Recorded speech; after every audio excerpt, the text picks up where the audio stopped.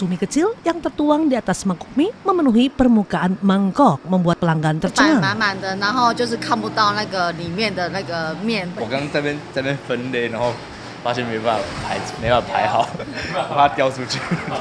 Rumah makan di Thailand ini memadukan cumi dengan bihun dan juga inovasi mie cumi semangkok mie yang di atasnya ditutupi penuh dengan cumi yang jumlahnya mungkin ada 30 cumi kecil.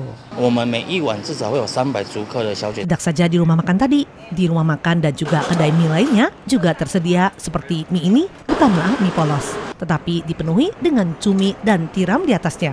Ditambah lagi dengan bumbu daging cincang sehingga tercium sedap dan lezat saat disajikan.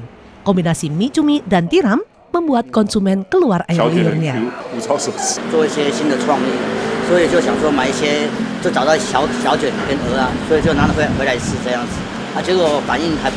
Inovasi dengan menambahkan cumi kecil dan juga tiram dalam kuliner mie Tainan menambah citra rasa yang juga mendapat acungan jempol dari para konsumennya.